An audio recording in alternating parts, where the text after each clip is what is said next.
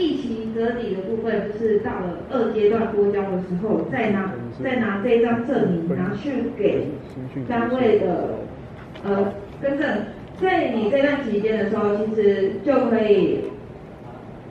因为我们会有一个冰袋，其实你们提前给我们，我们就是把你放在一个冰袋。随着你多交出去到你的新单位，那新单位的干部他就会有拿到你的折抵一起。其实你们是可以提前就拿给我们的干部，那我们就可以直接就帮你做保管，才不会等到后续你们不见了或者是什么，或者是来不及申请，就是呃，我觉得这个他们是遗失，因为去重新申办很麻烦，所以你们可以就是后续收假的时候就可以把它带回来，可以交由给班长。因为他那时候我们也要提前的先知道大家可以折抵几天，这样子我们才可以把这个最新的讯息给你们下一个单位，让他们也比较方便的快速作业。所以在之后的收假期间带回来就可以了，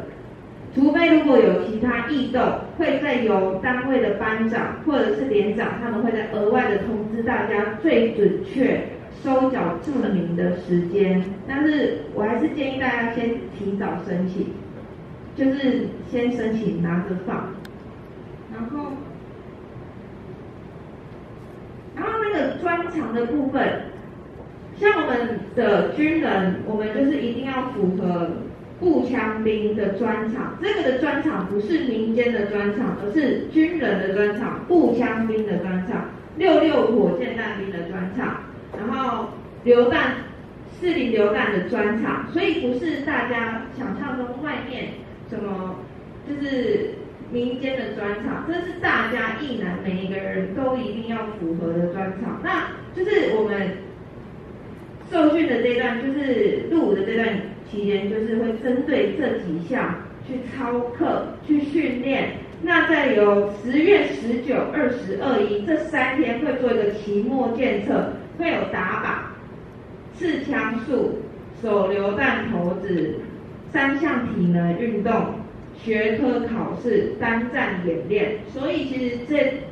呃这段期间是就是一个月要让你们学到这么多东西，其实是你们是很辛苦的，所以才会说其实你们根本没有额外的时间可以去读书。那那个读英文书当然这是个 OK 啦，你要读日文书、韩文书都可以，就是不能读。成人书好不好？就是正常的书籍，你只要说你要考试，你要去精进自己的语文能力，那都是 OK 的。但是我们还是希望大家可以休息，因为毕竟操课真的是一整天，所以我们会希望大家有时间就休息，其实才是最重要的，睡眠才是最重要的。然后读书就趁六日的时候好好读，我会比较这样子推荐，就是建议大家。然后那个打疫苗的部分，我们不会强制打疫苗，但是我们国军有规定，未打满两剂疫苗的人，每一次收假都要快筛一次。我们绝对不会强迫大家去打针，我们只会提倡大家就是增加自己身体的抵抗力。那我们不会像我们要打疫苗啊等等打流感，我们都是会询问每个人的个人意愿。那只是说，如果我们未打满两剂疫苗的，我们在每一次的收假都一定要实施一次的快筛，就是快筛到你就是可能整个讯息这样子结束。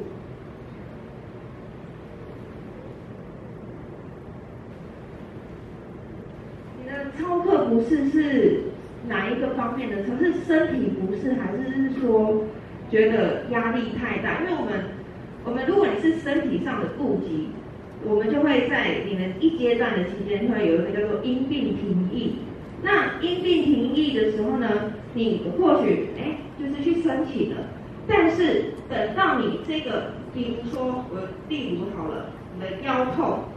好，那你腰痛在一阶段申请成功之后，医生局那边就会等到你好的时候呢，再发一次订单给你。就是你一定要去服满这个一，就是会让你一定要去服满。那我们有一个就是二阶段，二阶段就是呃，如果你是二阶段，就是我们下单下部队，然后呢你腰痛去提出申请，那但是因为你还是没有服满，你就会转成补充兵去服十四天就好了。但是通常这样子，说真的不划算，因为其实你已经撑过入伍训了，你只是去下部队的时候，其实一定也超过正常服役期间的日期。然后还有一个妈妈说那个什么，我们是最后，如果你是完全无折抵的人，就是一百一十二年的一月十一号零时，我们通常会在临时的，就是呃，假如就以一月十号来说，哎，一月十一号我们是临时生效，那我们会在一月的十号，一月十号的幺八洞洞让学那个让一男离开营区，但是在这段期间，你还是军人身份，你要到凌晨过后，你才可以，你才是正式的解除军人身份。那如果有遇到例假，那就是提前。假如你是礼拜六的临时生效，那我们会让你礼拜五就会让你们提早离开营区。就是如果是你如果是礼拜日的临时生效，我们不会就是。这么过分的要让你们在前一天再回来，因为礼拜六嘛，我不会让你们回来拿退伍令。我们在通常在礼拜五的时候就会让你们离开营区，但是我们会一直提醒你们，这段时间你们还是军人身份。如果你们在这段期间犯错了，抱歉，还是会叫你们回来，然后可能就会有一些军人这边的做做一些惩处的动作。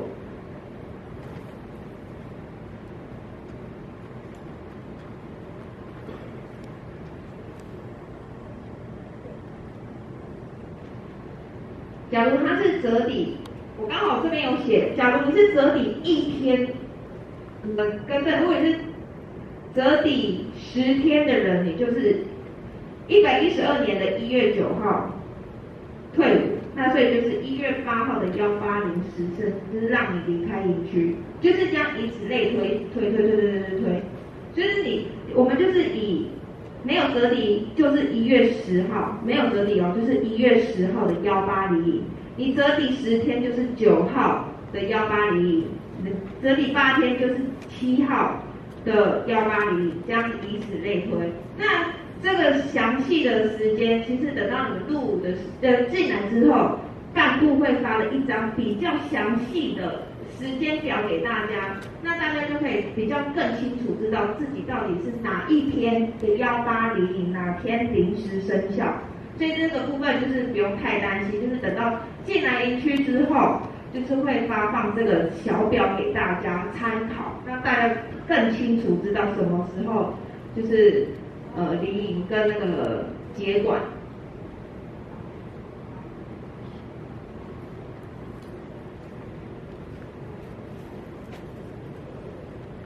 如果你有民间专场的话，呃，像如果你有民间专场，其实是可以不用带的，因为其实说的这个到过去二阶段其实是没有相关性的，所以我们当然就是以你抽签，在我们十八号那天抽签的时候，我们就是会顺便抽单位，可能我们会有外岛签，然后可能南部签、中部签、北部签都有。那那时候我们就会去看你是抽到什么单位、什么专场。那我们会再去二阶段的时候，就是去那个单位受那个专场，每个地方都不可能都不一样。你有可能会去医呃医务兵，然后气驾兵，然后等等的很多去很多专场，然后就会在你二阶段的时候去读这个专场，然后就是取得它，那就是以后未来打仗的时候，你就是这个的兵。你就是这，你就是有符合这个的专场，那就是就财会财会为什么会说大家每一个人都一定会有一个基本的专场这样。好，谢谢，我回答到，好了。